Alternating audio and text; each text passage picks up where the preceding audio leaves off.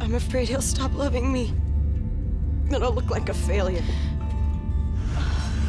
What if it makes things worse? I'm afraid when he comes home sometimes. I'm afraid he'll hit me. He gets so angry. If he comes after me? I'm so scared to leave.